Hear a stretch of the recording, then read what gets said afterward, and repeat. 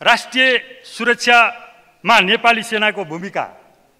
Main यो प्रश्नको अधिकांश मान्यज्यूहरूले उठाउनु भएको थियो। त्यसमा पनि हाम्रो मान्य प्रेम सुवाल मान्यज्यूले विशेष त्यसलाई जोड दिनुभएको थियो।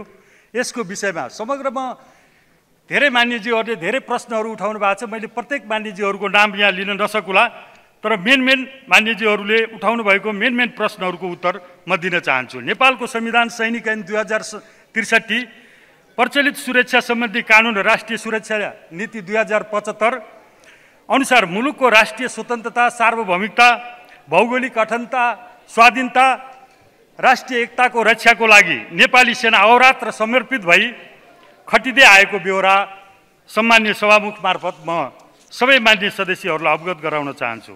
अत्याधुनिक प्रविधिलाई उपयोग गर्दै तपाईँको सुन्दर परिवारलाई पूर्णता दिन हार्दिक आइभिएफ विश्वासिलो साथी बन्नेछ। सेनाको शान्तिकालीन अवस्था शान्तिकालीन भूमिका र अन्य अवस्थाको भूमिका दुई किसिमको भूमिका रहन्छ। यी कुरालाई आत्मसात गर्दै अन्तर्राष्ट्रिय प्रचलन अनुसार सामान्य अवस्थामा भौतिक रूपमा हतियार लिएर सिमानामा सेना नेपाली सेना उपस्थित हुने कुरालाई अन्तर्राष्ट्रिय मान्यता अनुसार ठिक मानिँदैन र त्यसलाई चाहिँ अर्धसैनिक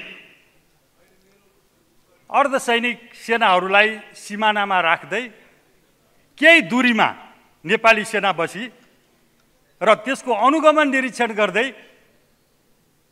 शान्ति सेनाको चाहिँ र सुरक्षाको सीमा सुरक्षाको निगरानी गरिरहेको हुन्छ। सामान्य अवस्थामा। असामान्य अवस्थामा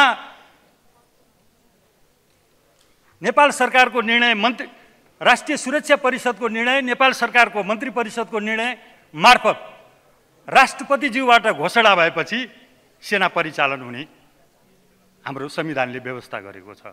त्यही अनुसार सिमानामा हामीले कैयौँ मान्यज्यूहरूको प्रश्न आयो सिमानामै सेना बन्दुक हतियार लिएर बस्नुपर्छ भन्ने कुरा यो अन्तर्राष्ट्रिय मान्यता अनुसार अलिकति नमिल्ने र अर्धसैनिकलाई त्यहाँ राख्दै केही दूरीमा आफू बसेर त्यसको निगरानी गर्ने कुरा नै रहन्छ भन्ने कुरा म जानकारी गर्न चाहन्छु।